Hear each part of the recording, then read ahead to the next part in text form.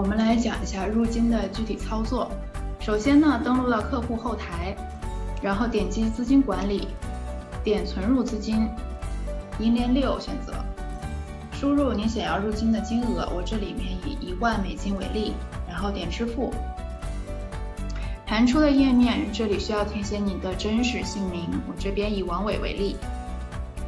呃，点击去付款支付。之后弹出的界面就是一个详细的转账信息，这个时候您就登录到您的网银，或者是打开您手机银行的 APP 进行一个转账就可以了，非常的方便。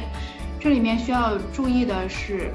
汇款的金额，还有收款人姓名、卡号和银行信息这些都要精准的填写，这三项是可以复制粘贴过去的。然后金额这个要注意小数点后面的这个。